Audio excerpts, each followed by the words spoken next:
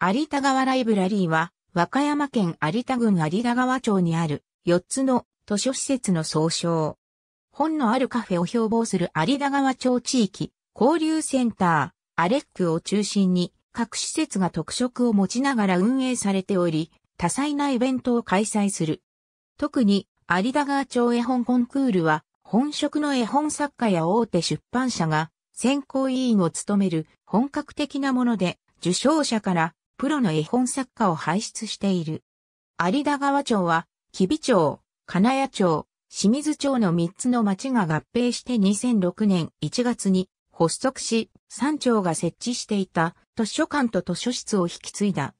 すなわち有田川町立金谷図書館、吉備会館図書室、清水コミュニティセンター図書室の一館二室である。2007年4月に、この一館二室の共通図書、システムネットワークが完成し、インターネットでの蔵書検索や相互に取り寄せることができるようになった。この時、吉備会館図書室が、吉備会館2階から1階に移動し、コンピュータによる貸し出しが導入された。当時の蔵書数は1館2室の合計で約6万6千冊であった。同年大阪府泉南郡熊取町から移動図書館社、ひまわり号が譲渡され、試行運行を行った後、同年10月から定期運行に入った。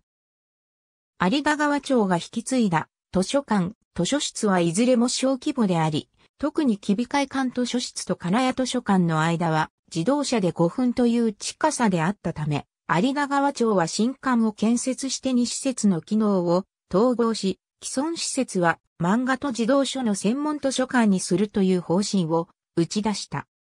公立の漫画図書館は2008年当時、広島市漫画図書館以外類例がなく、町議会では反対の声も上がったが、漫画は日本の文化であるとして推進することになった。しかし町は財政難であるため、肝心の漫画本は住民からの寄贈に頼ることとし、2008年2月までに、美味しんぼやドカ弁など約2800冊が寄贈された。2008年9月、源氏物語千年期を記念して、初めて源氏物語辞典を出版した郷土出身の文学者、北山啓太の日記や筆記具などの遺品を展示する会を金谷図書館で開催した。2009年4月26日、アレックが開館した。2011年5月29日、小さな駅美術館、ポンテデルソーニョが開館し、同年11月3日に、町としては日本で初めて電子図書館の運用を開始した。同年には第1回有田川町絵本コンクールを開催している。2013年に図書館情報システムを富士通マーケティングのイルズウィン 21BV2 に更新し、タッチパネル式のデジタルサイネージディスプレイをアレックに導入した。2014年3月22日、金谷図書館が改装工事を終えて再開した一方、3月31日には救出中だった吉備会館図書室が閉室した。2015年4月、これまでの貸し出し条件、有田郡市に居住、または有田川町に通勤、通学することを撤廃し、一度利用者登録すれば、電子書籍を含めどこに住んでいても貸し出しができるようにした。同年5月24日、有田川町政10周年記念イベント、スイート10有田川2015をアレックで開催した。2017年3月4日、金谷図書館がリニューアルオープンした。また、同年1月8日の本のリサイクル紙をもって閉室した清水コミュニティセンター図書室に代わり、4月1日に清水図書室が有田川町立八幡中学校内に開け室した。各館は特色を持ちながら、アレックを中心に運営され、蔵書は図書館情報システム、 iLiswing21/We V2 を通じて一体管理されている。 ALEC の外観、 ALEC の館内愛称の ALEC は、有田川 Local Exchange Center の略である。所在地は、有田川町月の704番地で、阪和自動車道有田 IC から北へ進んだ、周囲をみかん畑に囲まれたところにある。2009年4月26日に開館し、2016年10月14日に改装、カフェの内装がアメリカオレゴン州のポートランド市をイメージしたものになった。建物は岡本設計の設計で、鉄骨構造平屋建て、敷地面積は約12,800平方メートル、建物面積は2,314平方メートル、延べ床面積は2,340平方メートルである。有田川ライブラリーの中心施設であり、コーヒーや昼食を楽しみながら、また会話を楽しみながら本を読める町民憩いのスペースとして位置づけられており、アレックの整備に中心的な役割を果たした三角治は本のあるカフェと呼んでいる。来館者数は月間1万人で子供から高齢者まで多様な人が訪れ、町外の住民の利用も多く、イベントによっては和歌山県外からも来訪者を集めており、街のランドマークとしても機能している。町外からの来訪者に街を観光してもらえるように、無料のレンタサイクルを提供している。子供が遊べるように汽車の形をした構造物に積み木を満載し、遊び回る子供たちに親の目が行き届くようにとの配慮から、建物は平屋建てとなっている。館内で子供が走り回ることも許可されているが、はしゃぎすぎると職員が優しく注意を行う。本のあるカフェカフェを併設した図書館は日本各地に存在するが、アレックは貸し出し処理をする前の本を持ち込める日本国内では数少ない施設の一つとなっている。なお、本のあるカフェというコンセプトであるため、カフェで購入したものを飲食することはできるが、館外からの飲食物の持ち込みは禁止されている。カフェの名称は、オレンジカフェで、地元企業のオレンジライフが運営しており、セルフサービスとなっている。マキアートやフラペチーニなどの飲み物やパスタなどの食事があり、パニーニが名物となっている。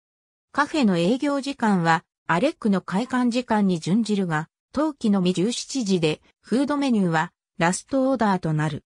蔵書の中心は利用者にとって手に取りやすい実用書や漫画で、それぞれ約4万冊ずつ所蔵し、取扱い能力は16万冊ある。これらの本は一般的な図書館と同様に書架に並べられ、職員によるおすすめ本の展示、漫画家のサインと有田川町出身の漫画家、桃瀬夏の原稿の展示なども行われている。一般書同様に漫画本も貸し出しができるが、赤い棚にある漫画本は館内利用のみ可能である。書家は背を低くし、施設の隅の方に配置して、施設の大部分を広々としたホールにしている。書家の前にはテーブル席がずらりと並び、子供用の椅子やソファ席、一人掛け用の席も設けられている。これらの席では様々な人が思い思いに過ごすことを想定しており、本や漫画に読みふける、学生がレポートを作成する、グループで談笑する、カフェで購入した料理を食べるといった光景が見られ、打ち合わせをするサラリーマンや、英会話のレッスンを受ける人の姿が見られることもある。窓際にある一人掛け席にはコンセントを差し込むプラグも用意しており、利用者が持ち込んだパソコンを接続できるほか、iPad やパソコンを借りて使うこともできる。カフェ以外の施設、本のあるカフェ以外にも館内には、ミニ博物館、展示場、研修室、ステージがある。ミニ博物館では、アレック周辺の遺跡で出土した弥生土器などを、展示場では、バイクやスポーツカーを展示する。研修室では、手作り師や企業によるイベントが、ステージでは落語などのイベントが開かれる。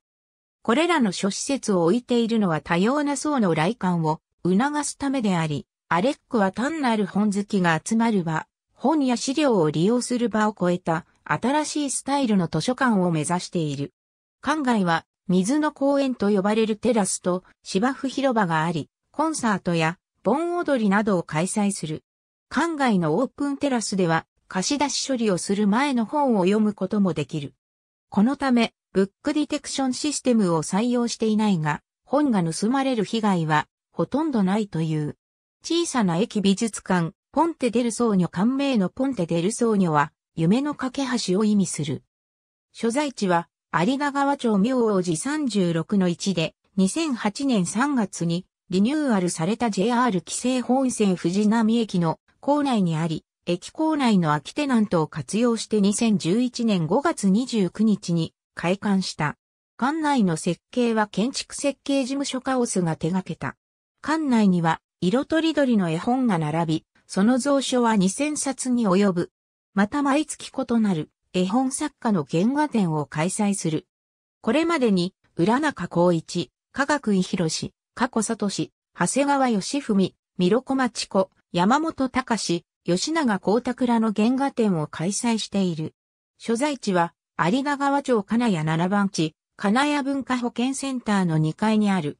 有田川ライブラリー4施設のうち、唯一図書館法に則っった図書館である。2014年3月22日に改装を終えて、開館、図書館のある有田川町金谷文化保健センターの改修に伴い、2017年3月4日にリニューアルオープンした。1995年時点では公民館図書室であり、特に図書室規格はなく、1日の来室者は10人ほどであった。そこで同年に司書として着任した杉本和子が読み聞かせを始めたことを契機に、活動は絵本の街づくりへと発展していった。図書室から図書館になったのは2005年4月のことである。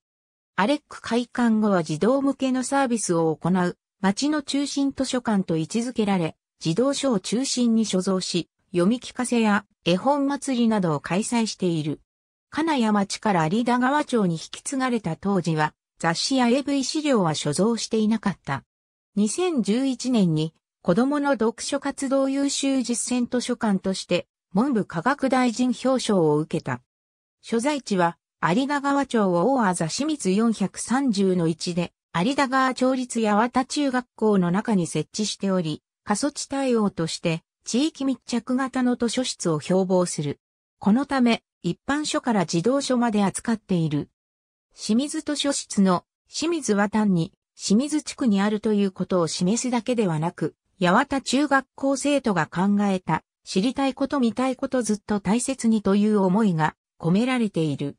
元は1997年7月に設置された清水コミュニティセンター図書室であったが2017年1月8日に閉室し、同年4月1日に清水図書室として移転開室した。有田川町長の中山正隆は、教育の面から子育て支援を重視する調整運営を行っており、保育所や学校への空調設備の設置、学校現場が自由に使える予算の設定、中学生までの医療費無料化などの施策に取り組んできた。図書施設の取り組みもその一環である。絵本の街づくりは、吉備町が進めていた図書館建設、地域交流の活性化の取り組みと金谷町の図書館が進めていた絵本を活用した図書館改革の取り組みが合併後に結合したもので、ある。この取り組みの中には、住民主導で行われるものもあり、町民が街づくりに参加する機運の情勢につながっている。和歌山県では、海南市でも絵本絵画冊数日本一を目指すなど、絵本の活用が広がりつつある。吉備町では、住民アンケートを実施し、我が町に欲しいものとして最多票を集めたのが図書館であった。2003年に町教育部長の三角地は、若手職員を集めて検討会議を開き、県外のユニークな図書館を視察したものの図書館の利用層が高齢者や受験生などに限られており、統計などを利用して図書館の実態を調査すると、利用者が住民の10%にも満たないことが明らかになった。三角は以前から構想していた本のあるカフェを実現すべく利用者の限られる普通の図書館ではなく誰もが利用する施設を整備しようという方針が決まった。その時、町内に子連れの親が平日昼間に集まり落ち着いて会話できる場が不足していることに気づき、地域住民の憩いの場として施設整備をすることになった。三角は建設資金として日本国のまちづくり交付金を利用することを検討したが、国側は図書館は対象外と難色を示した。これに対し三角らは、地域交流センターにカフェを設置し、そこに本を置くだけと説得して、了承を得た。国を説得した後は、町当局からの反発があった。まず、食事しながら本を読むと蔵書が汚れるという意見があった。これに対して借りた本を自宅で読む際、食事をしながら読む人もいることを指摘し、館内でも飲食ができるようにすることを目指した。実際に開館後に汚損した図書は年間数冊にとどまっている。次に会話の許可に関して騒いで他の利用者に迷惑をかけるという意見があり、BGM でジャズを流すことで落ち着いた雰囲気を形成して騒ぐことを抑制した。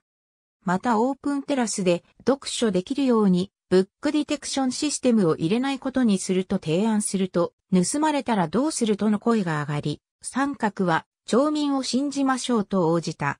結果的に盗難被害はほとんどないという。金谷町の絵本への取り組みは、金谷町立図書館司書の杉本和子が2000年に絵本の読み聞かせ講座を受講したのがきっかけとなったものである。同講座を受講した杉本は停滞した金谷町立図書館を改革する手段として絵本の読み聞かせを企画し、ブックスタートを和歌山県で最初に取り入れるなどした。絵本を取り入れたのは様々なジャンルのある一般書に比べて絵本が扱いやすかったことや杉本が子育て中であったことが影響しており、杉本は自身の子供に読み聞かせの練習台になってもらっていたという。なおブックスタートの導入には、町役場が新規事業として認めるまでに、専門家が趣旨説明に赴くなどの苦労があった。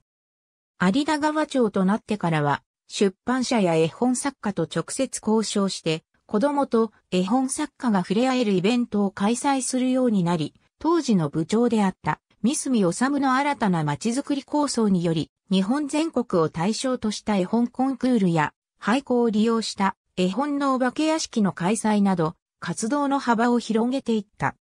地元からも2013年8月20日に、有田生活と健康を守る会、有田川町藩がアレックで、原爆写真と絵本展を開催するなどの動きが現れた。核となるアレックでは、毎月第3土曜日にハンドメイドマーケット、手作り詩を開催するなど、定期的にイベントを行っている。2015年からは、アレックを会場として、施設内で町が主催する絵本でワッショイと施設外で一般社団法人絵本町づくり協会が主催する絵本マルシェ有田川を開催している。このイベントは絵本が日常になる1日をコンセプトに掲げており、絵本でワッショイは絵本作家を招いてフリートークや絵本に登場する小物などを作るワークショップなどを行い、絵本マルシェ有田川は飲食などの露店が20店ほど出店する。絵本まちづくり協会は、三住治が定年退職後に立ち上げた組織で、絵本が日常となるまちづくり、絵本による子育て支援などの各種事業や、有田川町鉄道公園の近くで、金、土、木の実営業する絵本とコーヒーの店、サードカフェの経営も行っている。有田川ライブラリーでは、公立図書館としての使命を果たしながらも、継続的に新しいことに取り組み、この街に住んでよかったと思えるような図書館づくりを目指している。有田川ライブラリーのイメージキャラクターとして、アリリンがいる。アリリンは町の特産物である有田みかんをモチーフとしており、頭に有田川町の花、コスモスの飾りをつけている。2011年11月3日に導入したもので、町としては日本初、和歌山県でも初の導入であった。電子図書館システムには日本ユニシスと富士通マーケティングが共同開発したクラウドシステムを使っており、日本ユニシス製の電子図書館システム採用の第1号となった。これにより、本格的なタブレット端末対応の電子図書館としても日本初になった。開館当初は文学作品や児童書などの電子書籍のほか、語学や動く図鑑などの動画、街の広報誌や古地図などの郷土資料を含む約1000冊がインターネット経由で利用可能であった。24時間貸し出しが可能で、電子データではあるが、貸し出し冊数には制限があり、貸し出し中で借りられないこともあり得る。蔵書検索は紙媒体の資料の所蔵情報と連動しているので、電子書籍と紙媒体の双方の検索結果を参照できる。有田川ライブラリーは、郷土資料の電子化に積極的で、口述の絵本コンクールの入賞作品もオリジナルの蔵書として電子化している。また、地元小中学生が文集に寄せた作文を自ら朗読したものも収録し、視聴することができる。三角治は電子図書館導入の効果として以下の5点を挙げている。なお、導入の目的は有田川ライブラリーの利用者像であり、アレックへの来館が難しい遠隔地の住民への対応も意図している。自宅や外出先からでも利用できる。365日、24時間いつでも利用できる。音声やアニメなどデジタルならではの対応が可能。独自のコンテンツ、郷土資料などを提供できる。返却忘れ、汚れ、そして盗難の恐れがない。インターネット環境を持っていない利用者のために iPad を無料で貸し出すなど積極的に利用を呼びかけている。2016年になっても電子図書館は和歌山県唯一であったが利用状況が芳しくないことが毎日新聞で報じられた。同誌によると、2015年度の蔵書数は約2000冊、貸し出し点数は約4200冊であったが、貸し出しは100冊ほどの郷土資料に集中しており、著作権料を支払って購入した一般書の貸し出し冊数は約520冊にとどまり、開館以来一度も貸し出されたことのない本も多いと見られる。担当者は利用実績が良くない理由として、そもそも電子図書館の認知度が低いこと、電車通勤をする習慣のある町民が少ないこと、ベストセラーの電子書籍化を出版社側が躊躇していること、著作権料が高額で新作の入荷が少ないことを指摘している。2011年から毎年開催しているコンクールで、プロからの応募も含め毎年200点近くの作品を集めている。プロの絵本作家や大手出版社の編集者が選考委員に名を連ねる本格的なものである。入賞者には賞金が与えられるほか、みかん狩りツアーへの参加やみかん 100kg プレゼントなどの副賞もある。入賞作品は電子化され、有田川町の電子図書館で公開される。このコンクールで受賞したことをきっかけに、絵本作家としてプロデビューする人も現れている。図書館コンシェルジュは、従来の図書館で提供されてきた利用者の相談に応じて、情報を提供するレファレンス業務を行うのみならず、自ら街へ繰り出して、地域の魅力を取材する業務を担う。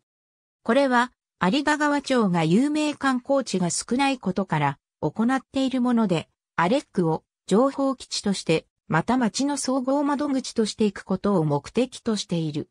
コンシェルジュが取材で集めた情報は、アレック通信にまとめられ、紙媒体で配布されるほか、アレックのデジタルサイネージディスプレイで見ることができる。アレック通信では、地域住民でも知らないような情報を掲載し、わかりやすく編集しているため、読者の評価は良いという。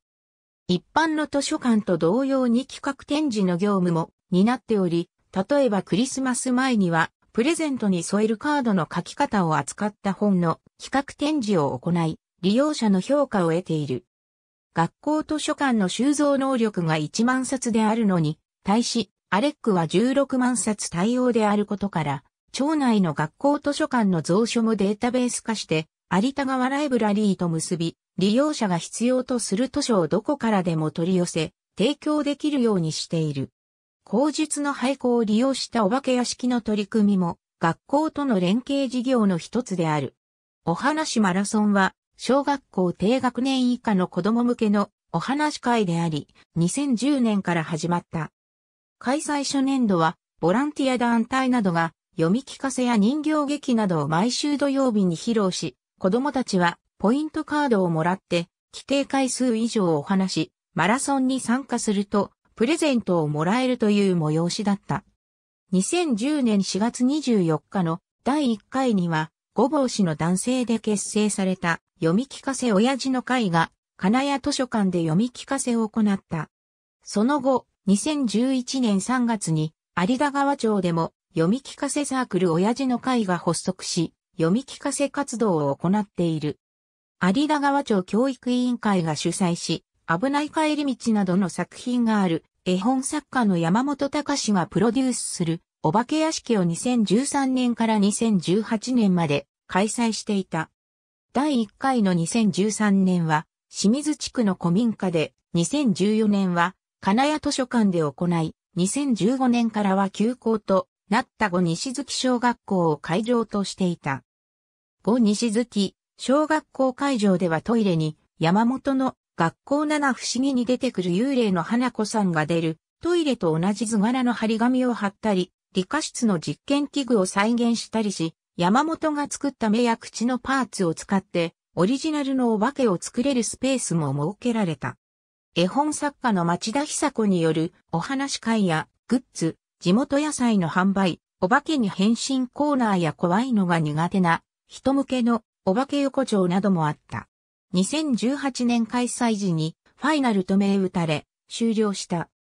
県庁所在地の和歌山市民図書館の市民一人あたりの貸し出し冊数が2冊にとどまるのに対し、有田川ライブラリーは、町民一人当たり13冊と高い実績を上げている。大阪福間取町から譲渡された移動図書館、ひまわり号を活用して、2007年10月から定期運行を開始した。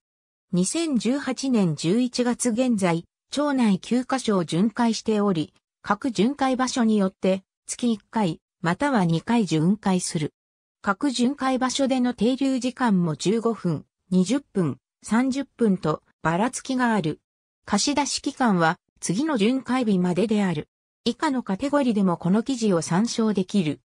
有田川町地域交流センターに関するカテゴリ、有田川町立金谷図書館に関するカテゴリー。ありがとうございます。